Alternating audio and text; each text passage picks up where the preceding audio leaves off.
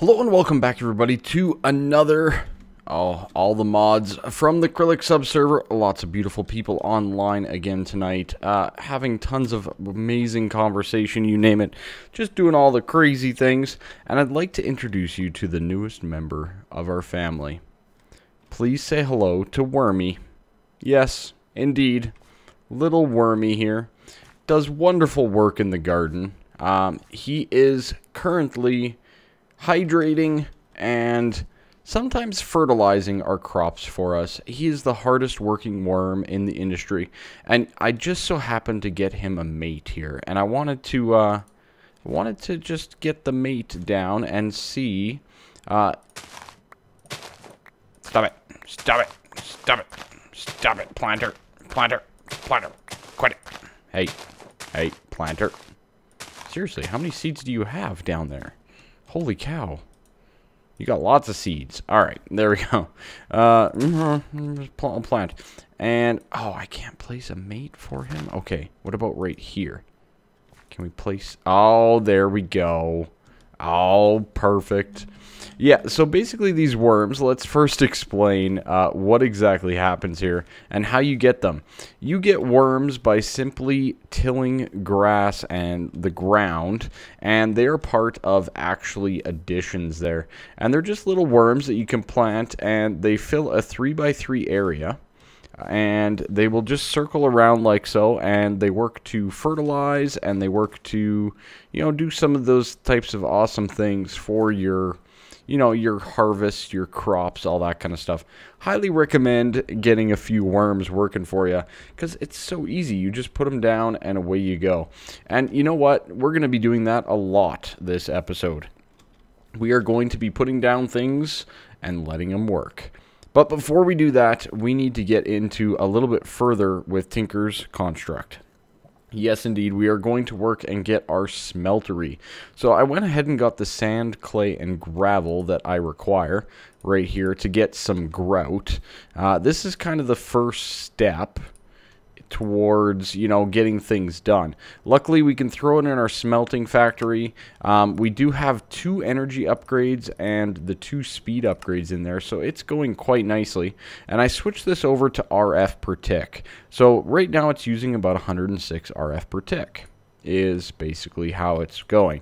Um, I also switched these guys over so they are actually outputting 280 RF per tick uh, per one. So what do we have there? 560 in these two biogenerators, RF per tick. But these things, uh, they use a decent amount. They use a decent amount of power to operate. So you're going to need decent power generation. And, I mean, these biogenerators are going to be our bread and butter to start with here. A lot of the other people on the server are going with wind turbines and solar panels and stuff like that. And I agree 100%. They are amazing. Not so great when you're in a cave, though. Underground. So, that's one of our problems. Now, I could run a line probably up to the top of the mountain that we're under and set up a few windmills and solar panels and all that kind of stuff, but uh, where's the fun in that? Let's have a little bit more of a challenge in front of us. But anyways, let's get our smeltery controller. Let's get our, we need nine, so that's seven of them so far. Uh-huh, there we go. That'll be our nine for the base because I'm doing a standard 3x3 or what I believe should be standard 3x3 smeltery and I've already hollowed out the little hillside there that I mentioned last episode that I felt just was a good spot overall for a smeltery. For whatever reason, I don't know why, I just feel like it's going to be good there. It can kind of be tucked in and yeah, I don't know. I like it. I like it a lot. Um, we also need a piece of glass to get our seared tank. Uh, this guy is required to store the lava that the smelter is going to operate on. All right, pretty straightforward there. We're also going to need a drain. I think I'm only going to go with one drain and one faucet at this point in time for this setup. And because the the changes that have been made to Tinker's construct are changes that I'm not a huge fan of actually, and uh, I won't be using this for resource processing because we already have resource processing.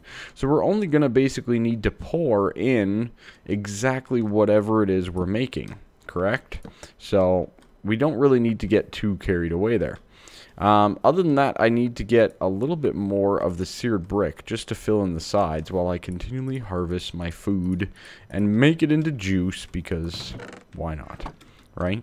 Juice is wonderful. All right, so we need a few of these. Uh, I think we need nine of them, if I'm not mistaken. Pretty sure we need nine. One, two, three, four, five, six, seven, eight. We do need nine. See, I was bang on. Bang on. Uh, yeah. Yeah, so many good things. So many good things in this pack. Oh, we've been talking about it. It's good. It's good stuff. All right. Here we go. Still producing a little bit more grout. That's fine. We'll go with this. Perfect. We're going to need... You know what? No, let's do the casting table first. Um, this guy here is what the drain and faucet is going to pour into. All right. So once we place this guy down, the smeltery kind of lights up and it's going, okay, you can use me now. And that is perfect. So we have the casting table.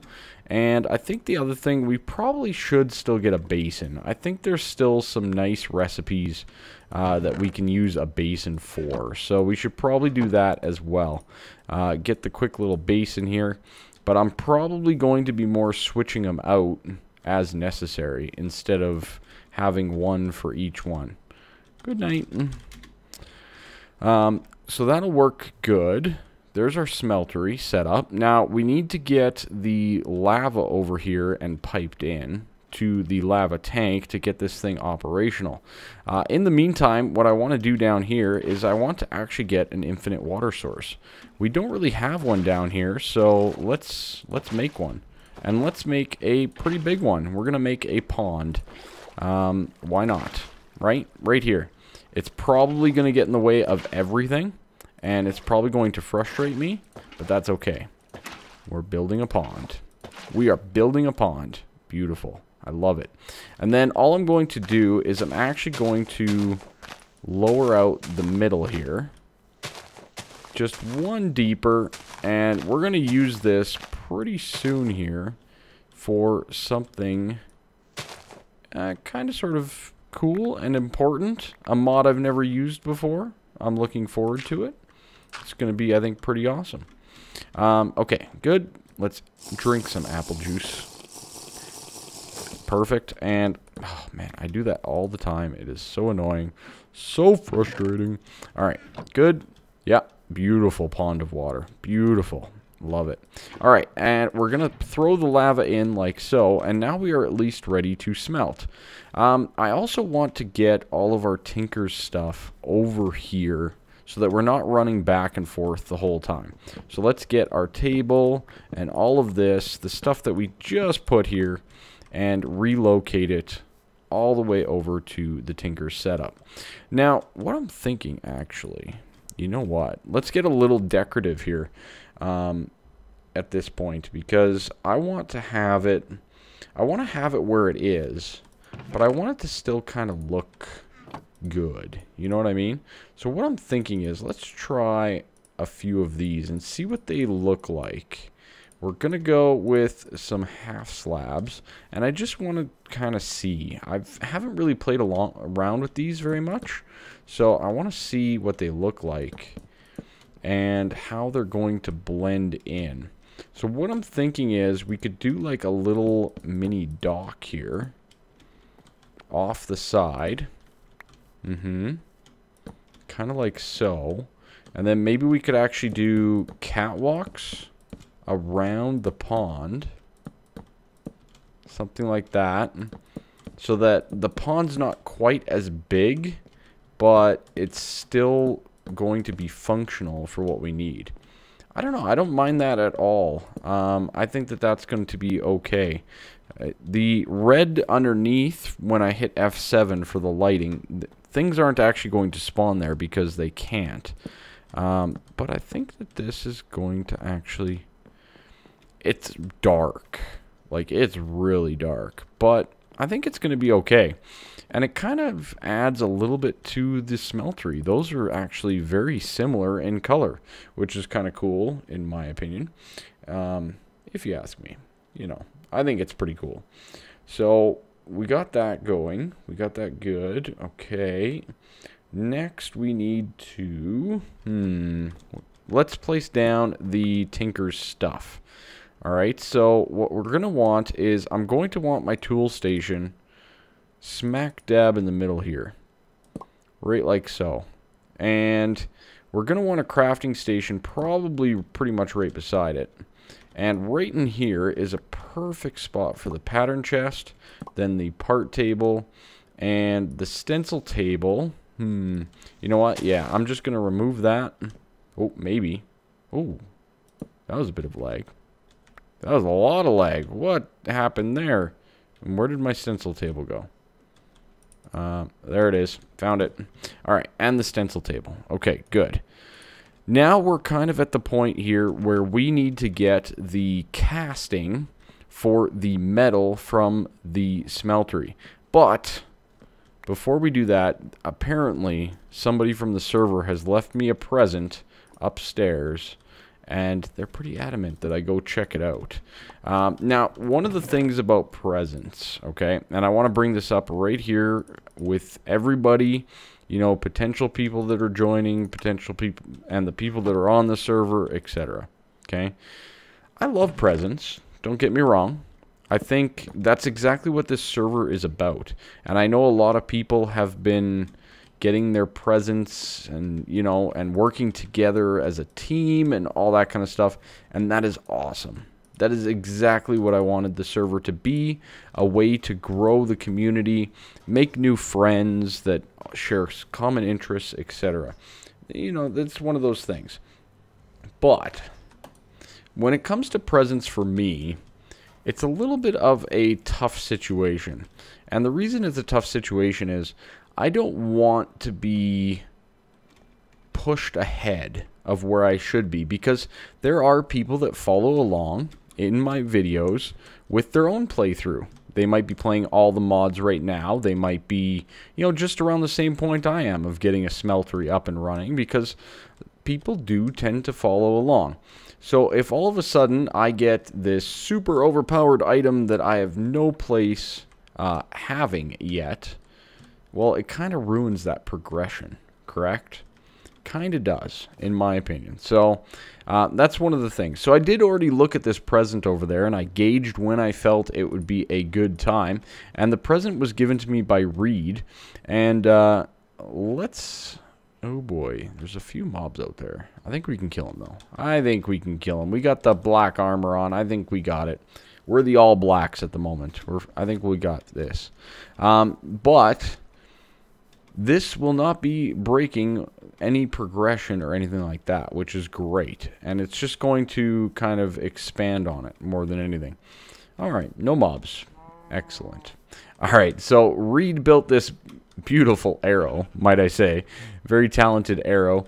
Um, and left me a little present here. Bingo, just like that. And just a few little items. Got some lapis very cool. Got some slime balls. Mm, nice. Uh, we probably will have good access to a lot of those right there. A few actually addition seeds. We got some rice seeds, some flax seeds. Oh, those might give us string. That would be cool. Um, let's see what else. We got beetroot seeds from Minecraft. Oh, nice. The one, one zero, or was that one I don't know. 110, I think it was. A little bit of string. Uh, apple oak pollen from forestry. Interesting. I don't know if I'm going to use that one. It's going to be a while before I can. And it gave us a pickaxe. Very nice indeed. Um, so basically we have, okay, so it's fractured. So that's a bone handle. Looks like it's a slime binding. Yeah, and is that a wooden head, I think? And it's been fortified with obsidian. Very nice. Thank you so much, Reed. I really do appreciate that. And I'm stealing the chest. wow. What is going on tonight? Somebody is doing something. We got some TPS stuff. I'll have to look into that after this episode. Um, really wasn't too much of a concern. But thank you so much. I, do appreciate the present.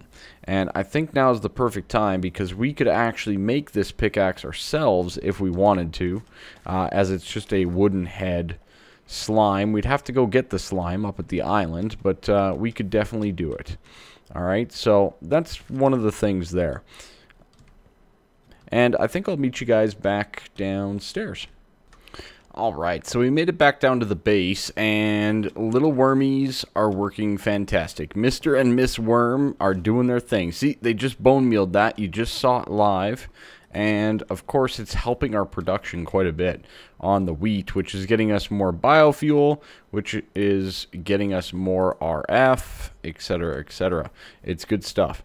Um, anyways, uh, we have our smeltery up and running. We got our new pickaxe, and I wanted to explain a couple of the things here. One of the things is the fortified option with the obsidian. That is one of the items in this pickaxe that we haven't really discussed at all, and I'd like to go over it right now. Now, the way that this works is fortified is pretty straightforward.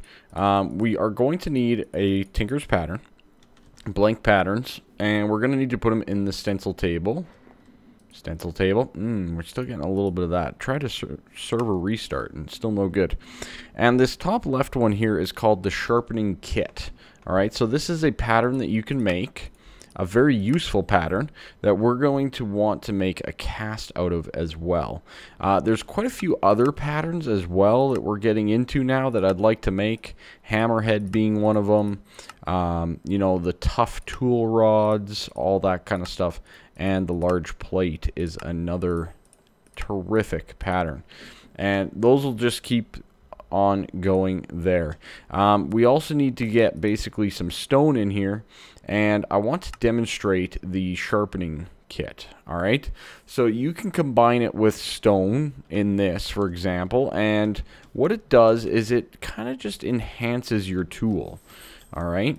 So what that's doing is it basically upgrades your tool. So this tool here because it's a wooden pickaxe head it wouldn't have been able to mine cobalt but with the fortified with obsidian, it now can mine cobalt. All right. So that's basically all that it's doing. So same thing with this stone that you see here with the sharpening kit. Um, combine it with a flint and it upgrades your tool to the materials mining level. So that would bring it up to an iron level. All right. So if we take this guy out like so, and we get our sharpening kit, perfect, and we can place it on our casting table and then we need a little bit of gold. Yes, indeed. A little bit of gold is going to be required. I'm going to get a decent amount in there um, and throw it into the smeltery.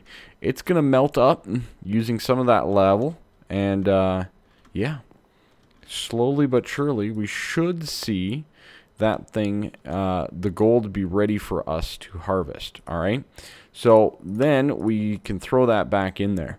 Now, one of the things I do want to upgrade on this is the wooden pickaxe head.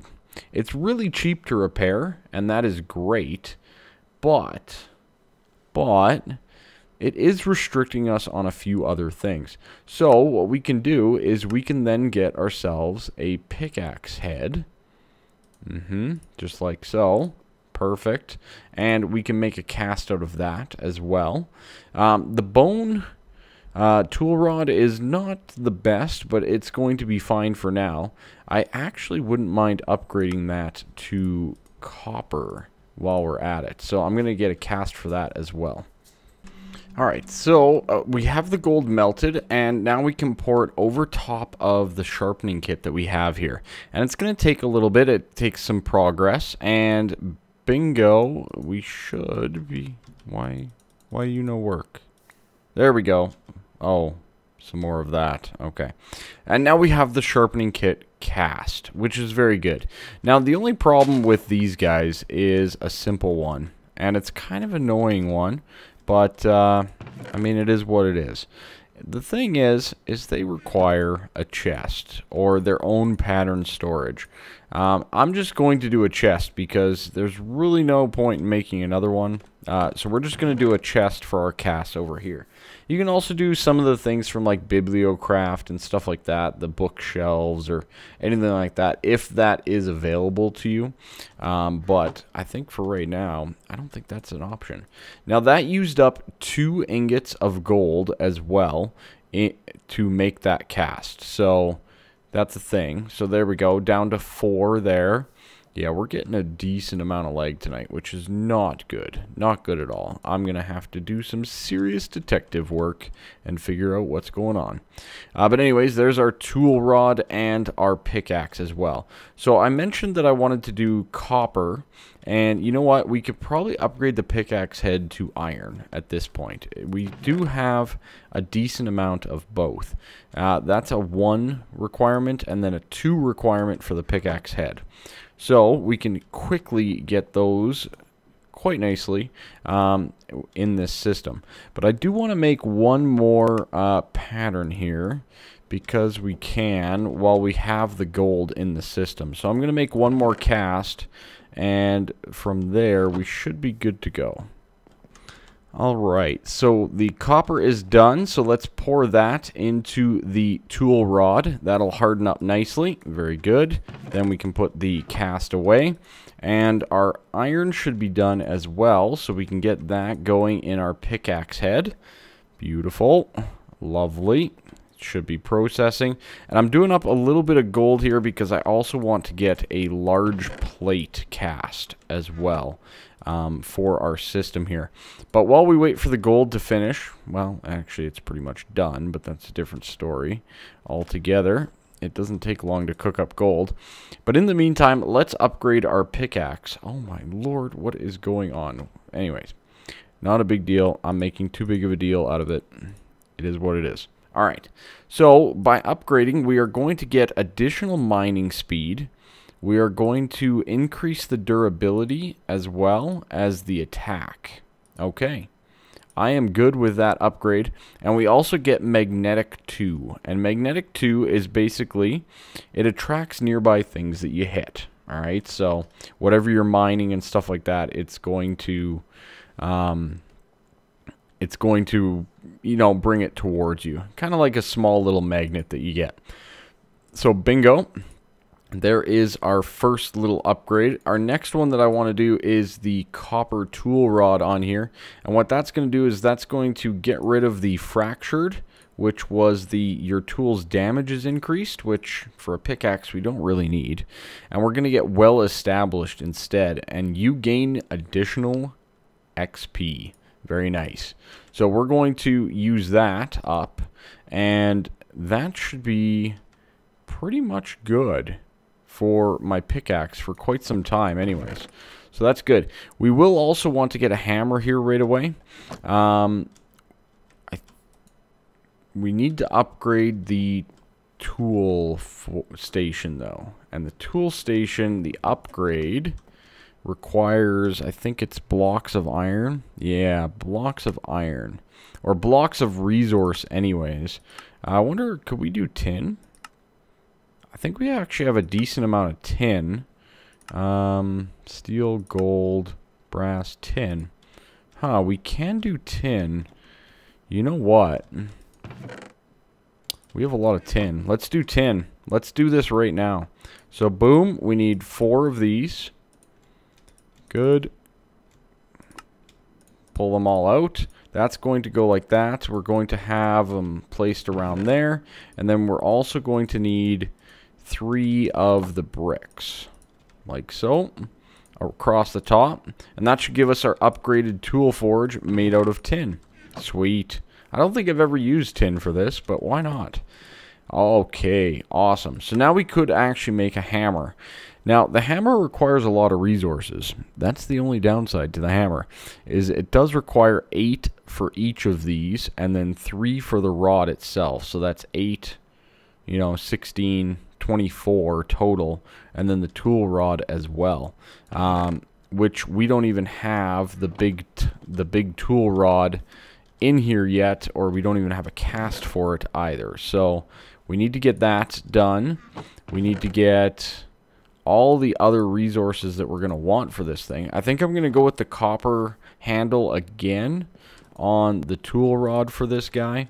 I think that makes the most sense overall. So there we go. We'll get that. We'll make this cast. I'm going to get some of the resources together for now that we're going to use. Alright, so what I want to make the plates out of is steel. We went with an iron hammerhead, just for now. That's more than enough for what we need. And I want to go with these steel plates. Um, I haven't tried them, so we'll see how good they are. You know, steel's usually pretty good. It does take additional resources to make steel, so I'm thinking it's going to be pretty decent. Um, I did look it up, and it doesn't quite have as much durability as slime, but it's still going to be pretty solid, I think, overall. It's still one of the better plates, I think, that are available to us. It also has this uh, ability called Sharp on it. And now, I'm not sure if that's going to make it really good for weapons or what. Um, but we'll find out together here. I love how it shows up kind of in the order. I think that is so awesome of one of the one of changes of 1.10 in Tinker's Construct. Absolutely phenomenal. So this is going to give us our hammer.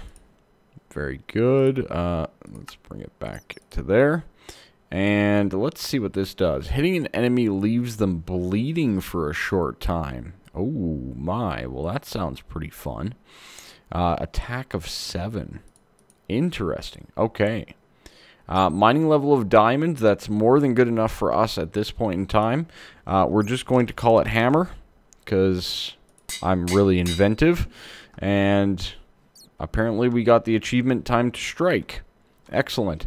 Uh, so this guy's going to make for really good work in mining out some of these areas, especially when I go down to mine down below over here. Now, one of the things... Ow! Really? Have a hammer. How's that feel? Oh, I like that. Okay. That is pretty sweet. Okay. I really like that bleeding effect. We're going to have to use steel on some other thing, uh, like on a weapon. That could be awesome. Okay. Sweet. I'm glad that that worked out. All right, so basically that's going to help us out with mining and all that kind of stuff here until we get like a quarry or some sort of system up and running otherwise.